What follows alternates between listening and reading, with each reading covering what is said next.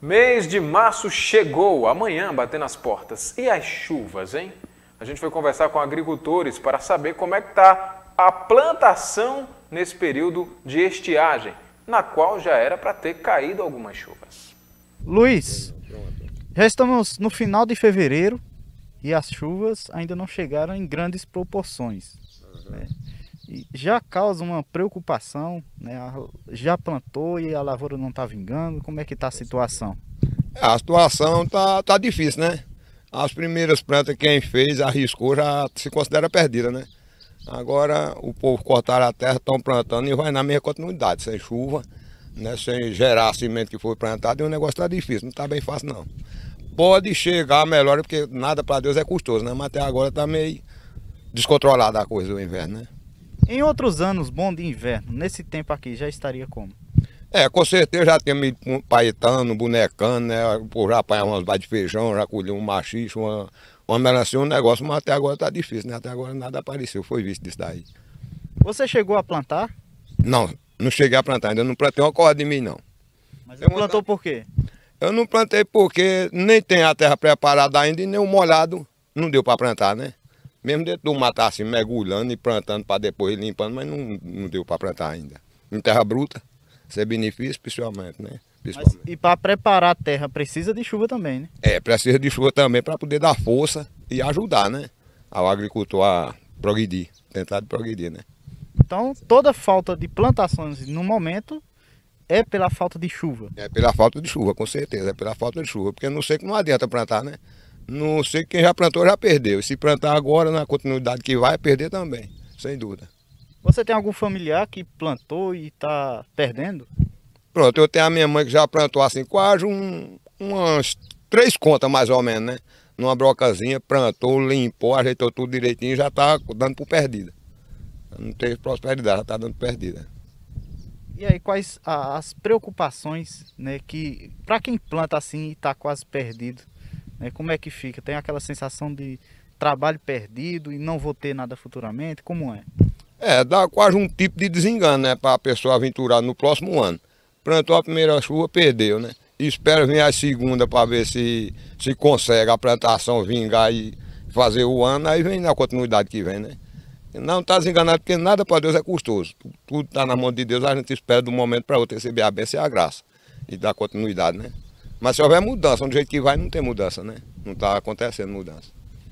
É, outra questão, é, a maioria dos anos, os últimos anos, as chuvas não estão tão frequentes. Então, as chuvas estão tardando e estão sendo menos. Já pensou em mudar o tipo de plantação para poder conseguir uma renda ou lucrar mais? É, tipo, o milho exige muita água e não está tendo muita água. Já pensou em parar de plantar milho e plantar outra tipo de, de plantação para render para você? É, tem, tem que mudar, né? Um negócio de uma palma, um algodão, um negócio aí, mudar essa plantação, porque para o milho e o feijão não está dando, né? Não está dando porque as chuvas, os invernos vêm curto demais, afastado, vem pouco, sem colaborar né, com as plantações que a gente faz. Nessa área, o terreno já foi arado com trator. Agricultores já plantaram. Podemos mostrar aqui que foi plantado milho e o milho chegou a nascer. Aqui já temos três pés de milho, chegou a nascer, mas já está murchando, a folha dele começa a dobrar por falta de água. Outras covas já se encontra falhas. Essa daqui, apenas um milho nasceu. E outras, aqui é uma carreira. Aqui nessa carreira podemos mostrar pela distância de um pé de milho para o outro, para uma cova para a outra, aqui nem chegou a nascer. Então o milho que chegou a brotar, chegou a vingar, mas a chuva parou e aí o milho começa a murchar, começa a morrer. E o agricultor, vendo esta situação, ele não espera que a chuva chegue ou que vá dar produção. Né? Nesse caso aqui, né, o agricultor já soltou os seus animais no terreno. Ali podemos mostrar que já tem uma vaca, já está solta aqui, ela está comendo capim, certamente ali, mas já está solta aqui dentro onde foi plantado o milho. Então, provavelmente o agricultor já perdeu as esperanças de lucrar, de ter uma produção aqui nessas terras.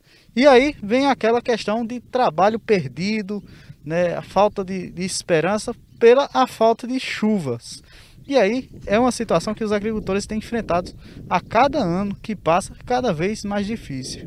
Já nesse terreno, o agricultor chegou a fazer o arado, cortou a terra, mas como as chuvas ainda não apareceram, ele não plantou. E aí fica no aguardo para a esperança, né, voltar novamente de ter um bom lucro, uma boa produção de milho ou de feijão. A terra se encontra seca. No momento, a terra está seca, ainda não está propícia para plantio, né?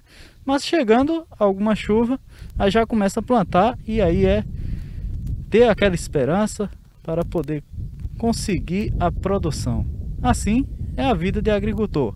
Um ano chove muito, outro ano pouco, mas sempre com suas plantações. Sertanejo não tem outra opção a não ser esperar, né? Então vamos esperar aí para ver como é que se desenrola aí os próximos dias. Né?